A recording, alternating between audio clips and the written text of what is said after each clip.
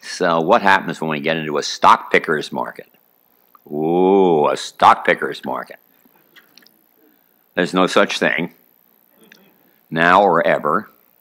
Uh, why? Because as I told the professor, each smart investor has to buy what it buys from a dumb investor, so-called dumb. Uh, there's just, I don't know why people don't get it.